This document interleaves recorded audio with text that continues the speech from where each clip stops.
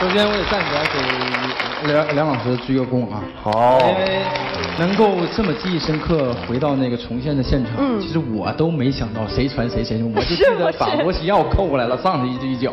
打完一脚球之后，回国的这种媒体的各方面的报道论，那个时候我才感觉到，在电视屏幕前的那些那么。呃，中国亿万的球迷关注你那一脚，所以说，我当时回来之后，我才觉得打进去是真好。真是这样。